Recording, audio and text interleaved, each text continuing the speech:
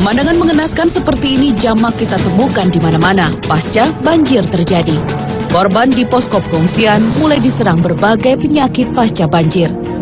Selain anak-anak, korban yang paling rentan terserang penyakit adalah ibu hamil dan manula. Sumiati misalnya. Nenek 65 tahun ini terpaksa tinggal di posko pengungsian bersama sang suami yang menderita stroke.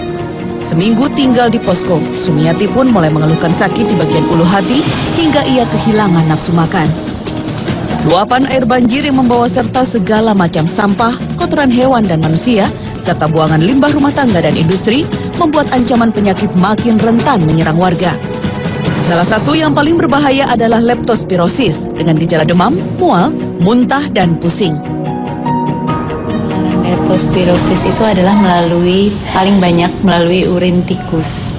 Jadi karena terjadi banjir, biasanya tikus e, menjadi keluar ya dari tanah atau dari tempat ia tinggal biasanya misalnya di got dan kemudian e, urinnya akan menjadi terpapar bagi manusia terutama pada saat banjir.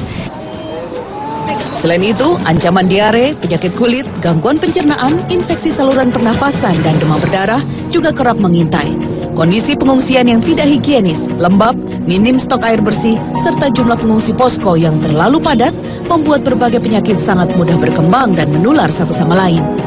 Namun, anggaran penanganan bencana nasional sebesar 14 miliar rupiah membuat Kementerian Kesehatan hanya mampu menyediakan obat-obatan, tenaga medis terlatih, dan pelayanan gerak cepat untuk melayani 50 ribu orang lebih di posko pengungsian banjir Jakarta pencegahan pemenuhan kebutuhan secara khusus tadi saya katakan bayi, balita, ibu hamil, ibu menyusui dan orang tua.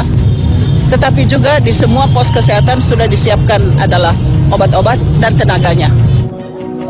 Ikut tergenangnya satu rumah sakit dan 52 puskesmas membuat Kementerian Kesehatan harus membangun 98 pos kesehatan dan 4 rumah sakit lapangan dengan mengerahkan 100 orang tenaga medis tambahan. Semua layanan kesehatan ini harusnya bisa dimanfaatkan para korban banjir dengan gratis.